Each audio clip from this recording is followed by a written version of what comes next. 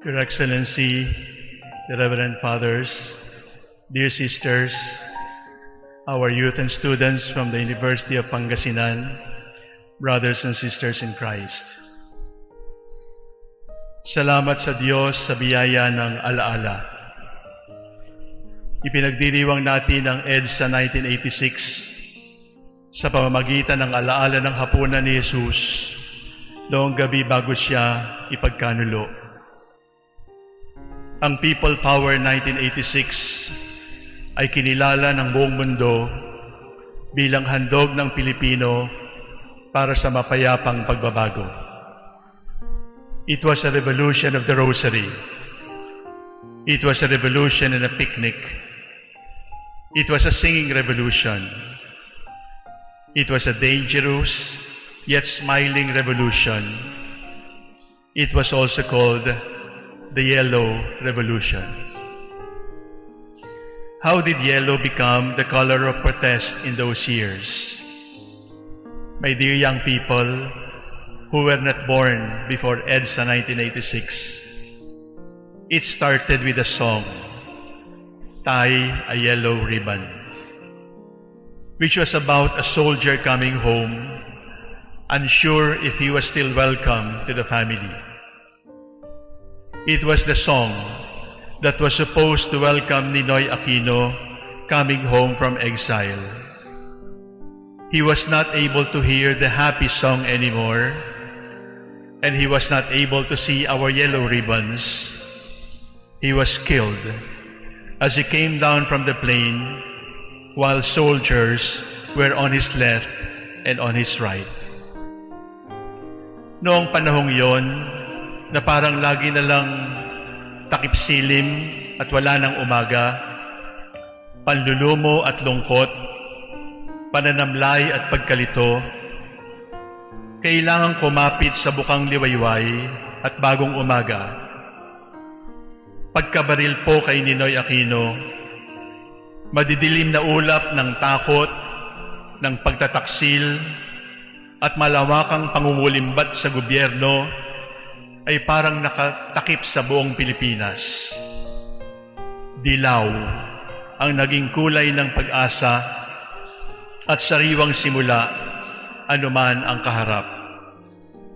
Dilaw ang kulay ng pakikihimagsik sa sariling pananamlay. Nais naming ipagpag ang sariling hina ng loob, hindi kontra kahit kanino ang dilaw. Ang dilaw ay kontra lungkot. After the happy Yellow Revolution of 1986 that celebrated our joy as a Christian nation, our colors became reasons for division and derision. Dilawan became a term of mockery. Pulahan became a fearsome term for the NPA or the color of the Marcos loyalists. Orange and green became the color of erap para sa mahirap. Others, others changed their colors every election, depending on who was likely to win. Hay buhay. Anong kulay ba talaga ang magliligtas sa atin? Ang pamamuni ba ay tagisan lang at palitan ng kulay sa gobyerno? Ano ba talaga ang kailangan ng bansa ngayon? Dilaw ba? O pula? O checkered? O green? Pula o puti? Sabungan na ba ang labanan? Hindi kaya masyado tayong napatitig sa mga kulay, kaya nabulag tayo sa tunay na mahahalaga. Does God have colors? Hindi ba lahat ng kulay ay bigay ng Diyos? Bakit nag-aaway-away tayo ngayon dahil sa kulay? Any color can give hope. Any color can bring joy. Any color can excite.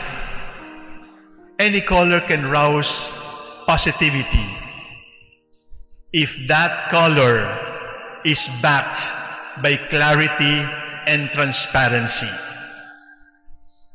While the eyes of our history remember the yellow when we remember EDSA 1986, it was really the transparency of life and the clarity of vision and purpose that really gave us hope then.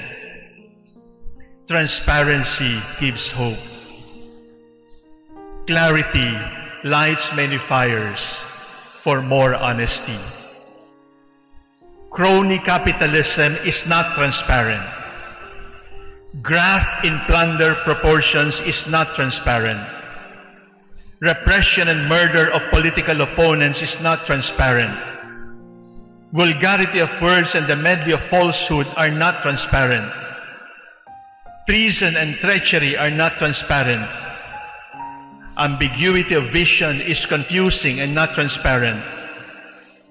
Ang mga ito ay mga kampo ng dilim at kulay kasalanan.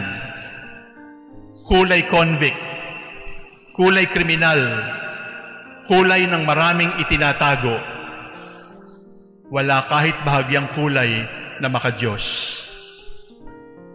Linaw at liwanag clarity and transparency ang ating kailangan. Ang linaw ng pagsasabi ng totoo ay pampaginhawa sa buhay. Ang linaw ng pagiging taos sa puso ay nagpapainit sa kalooban ng kababayan.